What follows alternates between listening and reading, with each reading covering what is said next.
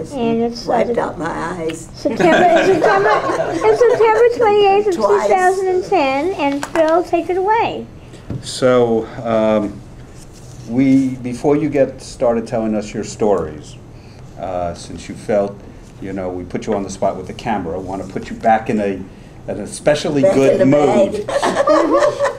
So, uh, this is something that uh, um, Noah took away in the great flood and wanted Oh, to when you asked me that question, uh, didn't you get another one of those? And I said, no, I didn't. And later on, I thought, I bet you I'm going to get another job. George Yiddish, yeah. Thank you. Oh, And with And little it's a- notes it's from a everybody. scribe. oh, Look on this the- is even better than the This other is the one that I updated version. Look on the Oh, inside yeah. too, there's uh, some notes from it. So, and you'll get a Oh, chance to read all you. those, and those who are not here uh, will get to uh, I have fill to in bring it notes back too. so that- Yes, Oh, maybe, I yeah. guess so. Yeah.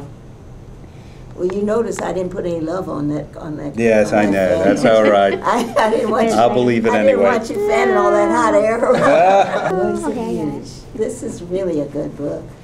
See, I missed, because you haven't had the book, I haven't gotten my, You my didn't get uh, any phone call. call. You didn't get any Every call. year for the High Holy Days, A- and I I would get have a the phone book in front message, of me. and I have Sister Ebo call me and, and wish me And then I Lashana would try to Tova. read in Hebrew whatever it said. And, and when I lost my book, then I, I, I didn't know what it was saying, but I usually say, how's that? Oh, thank you very much. But we will, yeah, now we want to hear though about your meeting President Obama Oh. and meeting Congressman Lewis. Uh, yeah. Pretty good All of, times. the- all of which, all of which I keep wondering, how do I manage to get into these kind of things anyway? But, but Oba- President Obama followed the disappointment of not getting to go to the Deep South with uh, Congressman Clay. And I think, I think they were throwing out a, a, a, a little peace offering to me when I get this phone call that says that uh, Senator, what's her name? McCaskill. McCaskill. I kept thinking, wouldn't this be terrible if I stand up here and try to give an invocation and, and I can't think of the woman's name? Because when I got the phone call, my first thought was, oh no, I can't do that. I know there are, there are people that are still suffering from, are going to Selma, that we opened the doors for the feminist movement. And I never, I, I don't think we even knew what the word meant. But, uh, and that was in 65, and so I said, I can't get involved in politics. I didn't know who I was talking to, but I was gonna make very sure. And they said, oh no, we'd like to have this rather low-key, and uh, poor old that has to always take a low-key road, but that's okay.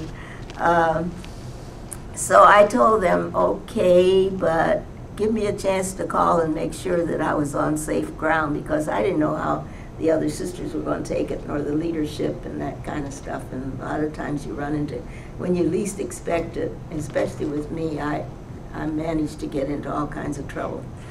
And uh, so that went over very well. Then came the time of getting down there, and honestly, mm, we were. It was at the Renaissance, and um, the thought was, well, how am I supposed to get there? And I, I really wasn't thinking about a cab, but I know now that I could have just gone ahead and called a cab. But I didn't think I should have to call a cab if somebody else was inviting me to do something like that. And then the President of the United States was going to be there. But at any rate, uh, Sister Betty Brucker, does anybody here know Sister Betty Brucker? Betty, Betty uh, was instrumental in, uh, when she was the administrator of St. Mary's Hospital, they had one building there that the the interns and residents used to have to live on the property and uh, and take call and all that kind of stuff. And so um, uh, Betty, knowing that that building was available, and it- when AIDS first came in and people didn't even want to reach out and touch the same piece of furniture, um, uh, Betty opened up that building, I think they called it Doorways or something. Still around. Yeah, and, uh, and uh, Betty was instrumental in helping to get places where um, people who were suffering with AIDS in the early days, they had no place to go. Families would not take them in and all that kind of stuff. So she, uh, Betty was invited, and uh, um, Senator McCaskill apparently was also involved in that movement. And so uh, Betty was invited, and uh, Betty's driver, the person that picked up Betty, also picked me up, and so we were together. And it made it, it made it more enjoyable anyway. But then when I got there, um, uh, they had a wheelchair for me, and we were sitting over at the side while people were going through the line for security check, and uh, the group of us were over at, at one side waiting to get in the line, and one African American good looking man, uh huh. I thought you there going, we're hearing this from. Well, I mean, I appreciate God's beauty no matter how it comes. But anyway, yeah, I'm 86. Uh-huh. So I'm not looking to leap over the wall. But, but this man stopped what he was doing and he came over to me and he said, you're beautiful. And I'm thinking, of, I look back to see if he was talking to Betty. and he said, I don't know what you have done, but I can tell you belong here. And I'm thinking, well, you sure don't know what I've done because you I've never seen you before in my life. But anyway, he went back and got back in the line going through for security. And, uh, and then uh, the woman that was pushing my wheelchair, uh, they had us at one of the round tables. And when we got ready to um, give the invocation, uh, I walked over to the stage, and there was just a couple of uh, short steps to walk up to get on the stage. They had announced that I was going to give the invocation before the meal. And I'm on the stage, and people just kept talking and talking, and I thought, I finally decided. Then they started knocking on the on their glasses, you know, to get mm-hmm. attention. And I'm standing here reading the president's address, which was it was like this, and it was open. So I thought, well, I might as well engage myself in something here, because if I'm given an invocation, God and I are not going to be up there talking over their their conversations. And so I just stood there. And I think they probably thought that this little black lady was up there to tell them how to go through the buffet line or something. because honestly, it was like I wasn't there. And I thought, well, you're going to wait and you're going to know that I'm here because I ain't saying nothing until you do get quiet.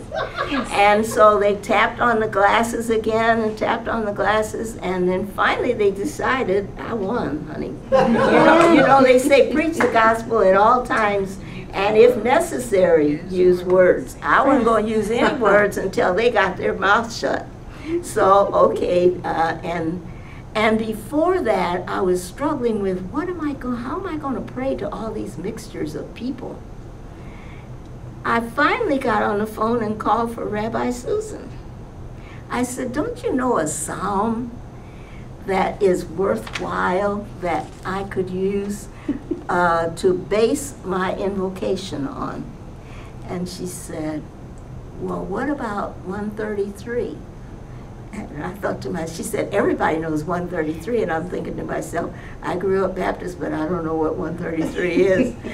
and I looked up 133. Behold how good and pleasing it is when brothers and sisters, that's mine, uh, dwell in unity. It is like the precious oil upon the head, running down upon the beard, upon the beard of Aaron, running down on the collar of his robes. It is like the dew of Hermon, which falls on the mountains of Zion. For there the Lord has commanded the blessing, life forevermore. It, it, it, it, it, and I could not help but think as I was reading it, now this is from the Hebrew text, and our Christian text in Matthew 25 says, as long as you have done this for the, one of my least brothers, you've done it for me. And, and my prayer became a prayer for all the needy in the world. And after the invocation was over and the brother that had met me out there in that hall came, got up from his table and came over to me and he said, I told you you belonged here. and his, his last name is Davis and I had that card out just, oh, about a week ago and I don't know where it is now. But um, uh, he said, and he gave me one of his cards and he said, I still don't know what you have done, but I do know that you must be a prayer, praying lady, and I want you to keep me in your prayers. So Brother Davis is in my prayers. And, uh, and I went on over and sat down. Well, but before I gave that invocation, I couldn't help but say I was disappointed. And I said this to the whole group. And I was really disappointed that the President of the United States and Senator McCaskill were not there seated breaking bread with us. I thought that that would have happened. And I said, but since they tell me that they're in the wing waiting, uh, we will pray over them and pray over this meal at this particular time. So please join me in prayer. yes, I did. Good. I, I, I mean, I, I just feel that they get so tied up in, in uh, all of that riffraff of the political movement and doing the politically expedient thing that they forget uh, to ask me to do an invocation and they're not even there for me to pray over. Uh, there's something wrong with that picture. Absolutely. And uh, so I then I went ahead with my prayer, and I even included the people sitting on death row who are preparing to take their last meal, because there are sisters and brothers of ours who are here at this moment. They're sisters and brothers of ours that do not have a meal, and some are preparing to take that last meal. When I was waiting for the elevator outside after everything was over, there was a lady walked up with a little boy and he looked like maybe he was 10 12 years old and she said oh and this is the sister that get, did the invocation. It was beautiful. And she even prayed for the people on death row. And i mean i don't know how i could have left them out. Because it's so important that these are our sisters and brothers also. Well at any rate when the president came out and I could have told him what he was going to say. Hello, St. Louis. Because by, by the time they got quiet, I finally got my two cents in. Well, by that time, I had already read most of what he had on there on the first page. and uh, so then, um, uh, after the president finished with his Claire McCaskill came out first and introduced the president, and the president did his thing. And then when he got ready to come down, it was like a fence um, that had a curtain, a rod that was going through and had a curtain down at the front of the stage. And he came down to reach over that curtain and shake hands with people as as he was standing up there. So people came from their tables and were shaking hands with him. Well, then this there was a lady that was a volunteer with, uh, I guess, with the Democratic Party, and she, she said, "Do you want to take a chance? Shall we try to walk over there and uh, and see if we can if we can at least uh, shake hands with the president?" I said. Yeah, I'm game if you are. So we got over there, and it was it was kind of like uh, this was the corner right there, and uh, and right at that corner all of the photographers were standing there and these great big men that I, I couldn't have seen over if, even if I wanted to. but it was like Moses in the Red Sea, honey. all she said was, all she said was, uh, excuse me, Sister Mary gave the invocation and she has to get to the president. And, and these great big old guys with the cameras and everything, you know, they're looking down and looking at me like, well, what's this little riffraff doing? and she said, excuse me, Sister Mary is here, would you please move? And, and Moses just rolled the Red Sea and I walked right on up there with, and here was the president standing there. And so he reached for my hand Honey, I reached on up there and pulled that bro- brother down there, right, right on down, and and he was gonna hug me. I had him down for the hug, and he kissed me right there on that cheek, Oh, right, man. right, right there. I haven't washed my face since. you didn't hear that, did you, guys? But anyway, I got a kiss from the president right there on that cheek. And I went back to my place. The evening was a nice evening, the rubber chicken. but it was, it was, it was nice. And then John Lewis, Before you go there, what? go what did I leave out? The, the, the momentous timing of that night with the president. Oh, at the very moment, you know, you, you're going to get me all shook up now. At the very moment, it, it really says it was God's agenda. As I was standing there doing that invocation in 1965, on that same night, oh. we were arriving back from Selma. And I mean, you know, um, when you got things like that on your mind, and mm, you know, your grace and mercy brought me through, and you know that it was nothing but God's grace and mercy that brought us through that day, and and as, e- exactly well, from 1965 until whatever, uh, oh, until this year. So we're talking about years 45 years later. On that night, we were, it was just about time that our plane was landing back here in St. Louis from Selma. Yeah, I forgot about that part. I, I, I think I have selective memory because I didn't want to get all shook up with that one. But, but that deserves, I'm glad you didn't let me, let me leave it out. Because that does deserve God's grace and recognition of God's glory and God's grace and mercy being with us. Because anything could have happened.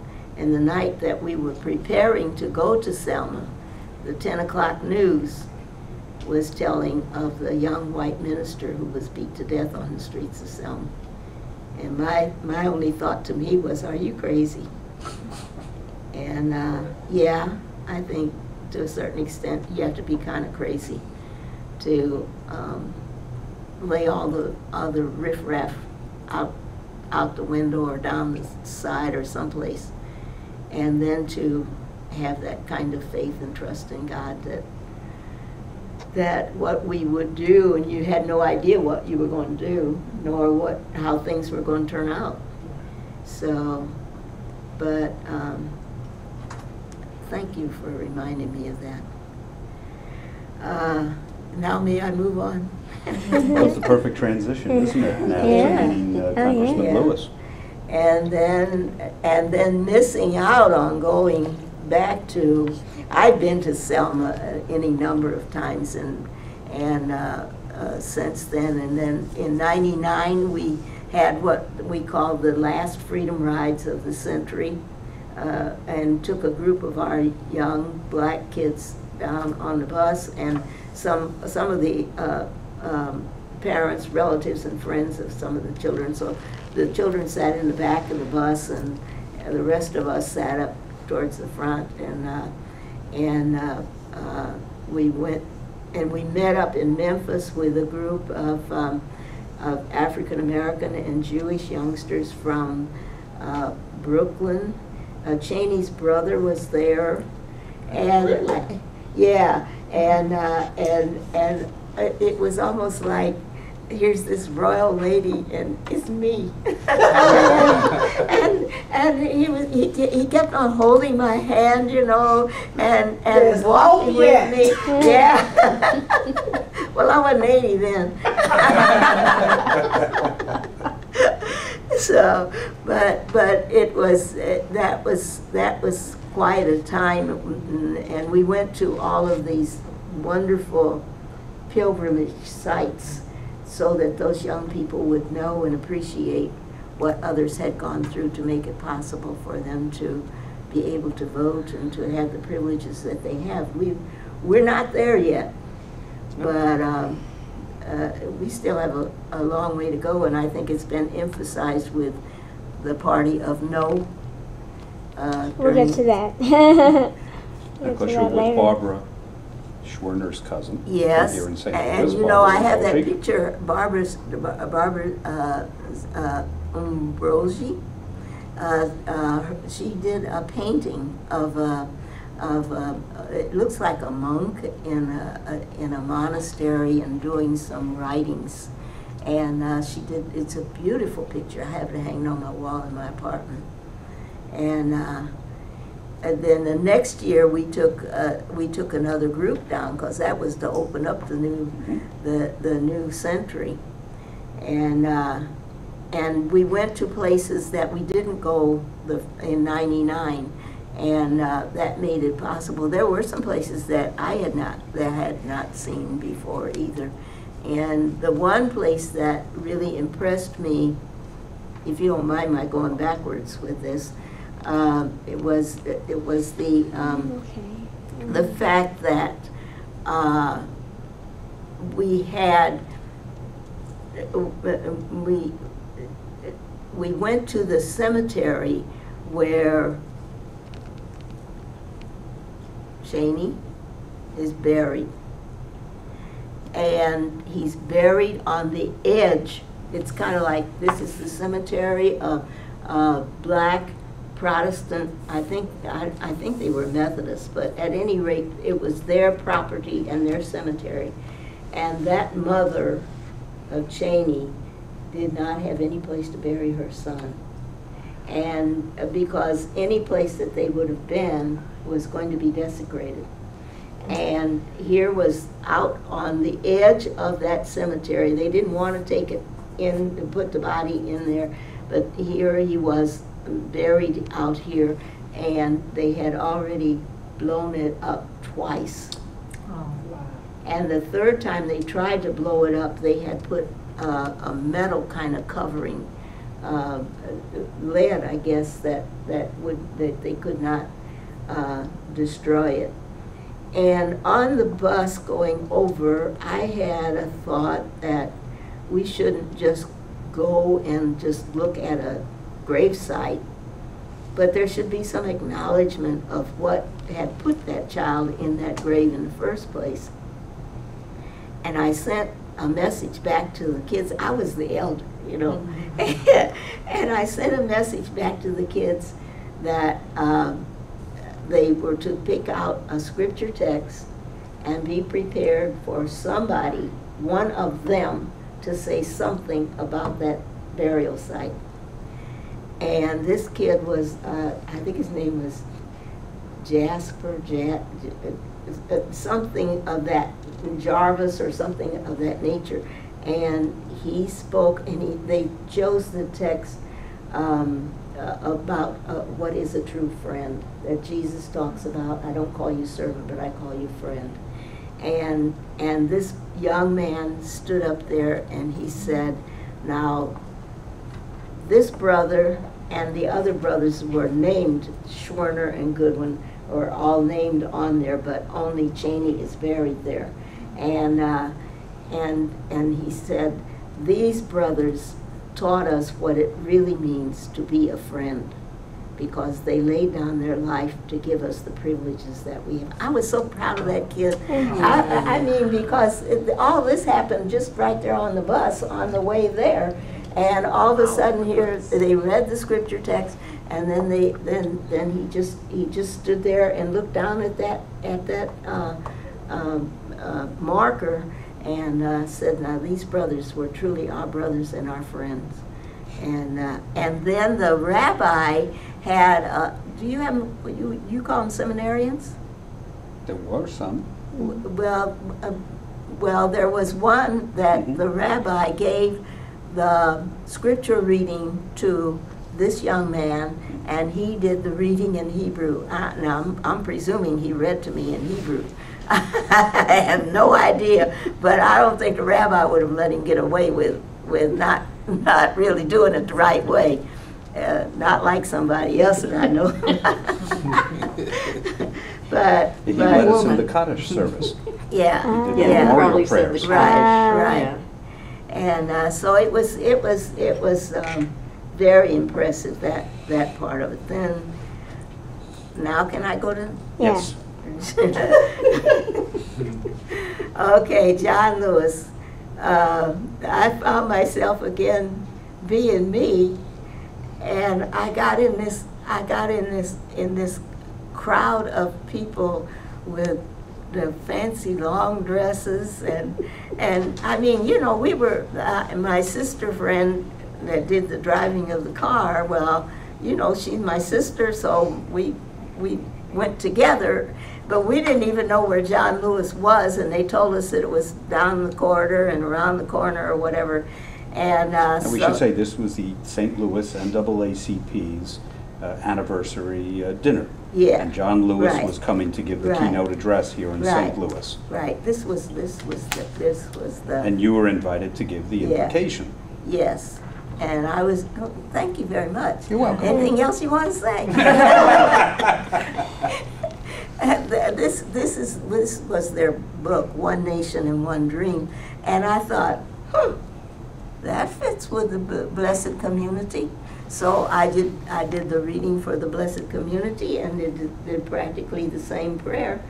Uh, so, excuse me, so that, um, I didn't have to waste time reinventing the wheel. The prayer was good. If it was, if it was good enough for, for all those folks at the, at the political gathering, I thought maybe it should certainly be uh, good for the NAACP. The disappointment that I had there was, and I, I don't think people realize,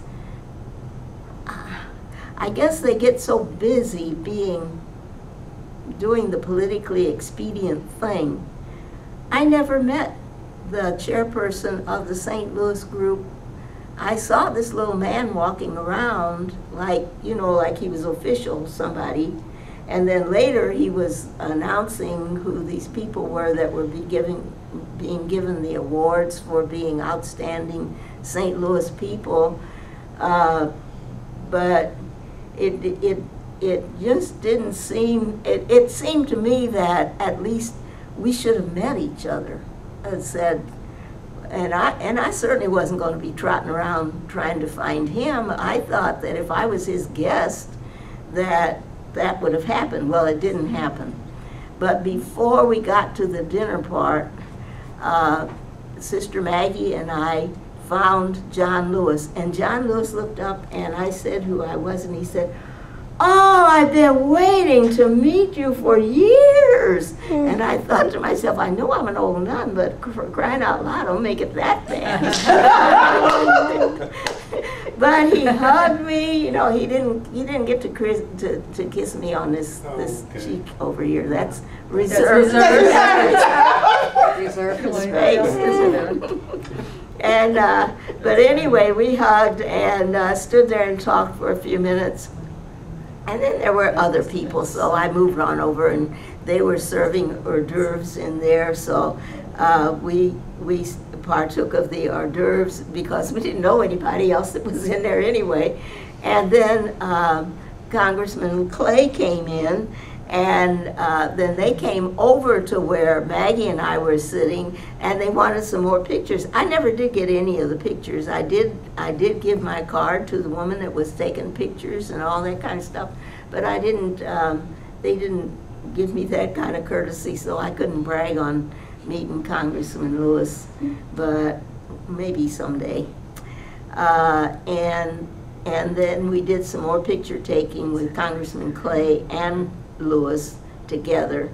And then they put they sent we went into the dining room, the you know the serving area, and uh, I I couldn't figure out why Maggie and I, we just kept sitting, of course, we were there kind of early, so, and since we didn't know all those other distinguished citizens, uh, we were just sitting there and talking together, and lo and behold, we were sitting at this one round table, and nobody came, and nobody came, and nobody came, and then they filled in this one long table. Congressman Lewis was there, but this table turned out to be the table for the Anheuser-Busch, and I guess those people, I guess the people over in Germany didn't come over for this. Belgium, They didn't Come over to fill that table, and then to to, to top it all off, they came and got me, and I was to sit at Congressman uh, uh, Lewis's table, and to my right at the end of the table, like towards the end down there, and I was uh, sitting on that corner, was the aide to Congressman Clay, or no, Congressman uh, Lewis. And uh, very nice young man, what was his name? I had his name down here someplace. And uh, at any rate, um, they had to leave early because they had to get on a plane to go someplace else for another event. So they were, they weren't out there to break bread either. But they got prayed over and got a safe journey, so I guess that was the important thing. Um, And then, I don't know whether you, whether you know it or not, uh, you probably do, but I got my fourth honor- uh, honorary doctorate uh, in May from uh, St. Louis University. And uh, so I'm sister doctor, doctor, doctor, doctor. But, um, and, and, and this cheek was desecrated because Father Biondi kissed me right in the same place, practically the same place. And I'm just going to, I'm just going to just pass these on down and you can take a look at them and, uh, and then get going around the table. But St. Louis University sent me um, uh, all of those pictures and um, you can just, as you look at them, just keep, keep one going, keep them Okay. going around. And, uh, and then the other thing that, uh, after the, after the commencement, oh, I didn't tell you the commotion that happened around the commen, the commencement. About two nights before the commencement, uh, I had a friend call and said, are you watching Channel, Channel Five News? And I said, no, it was ten o'clock. And I said, no, and why? Because you're all over the news, so turn on Channel 5. Well, I turned on Channel 5, but it was too late by that time. And the, the commotion was that the St. Louis University students, graduates, did not want the papal nuncio to give their keynote address for their graduation, their commencement address. And they, by name, said, we want that Sister Antonia Ebo to give us our address. Because she is, she, she is talking from the same kind of way that we learned. We've been learning all these years. And, uh, and, and for one brief, silly moment, I thought to myself, I could do that. And then I thought to myself, uh-huh. You really are cruising for a bruising from the Pope himself when, when I'm asking his papal nuncio, his ambassador, get out of the way, Antonia wants to talk. So, but at any rate, uh, let's see, I think what I did was I made some copies.